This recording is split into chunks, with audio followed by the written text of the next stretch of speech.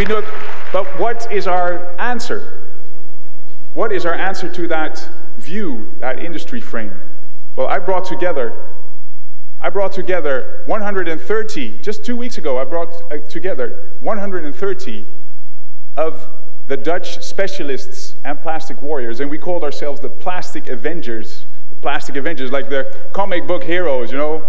We're fighting this plastics. And then I challenged them to come up with that view, that new vision, that new approach, a sustainable approach to plastics. And we wrote it down in a little booklet, also a manifest. And you might like, you might appreciate the color while I'm here, you know, a red color, but you'll also appreciate the contents. And I know Frans will appreciate that. I was about, I'll finish it here. I was about, I was asked, uh, next time Frans will come to the Netherlands, we as the Avengers, all 130, wanted to present this to Frans. But since he's only five meters away from me, I'll present it to him straight away. Thank you very much, because to me, he is a plastic Avenger.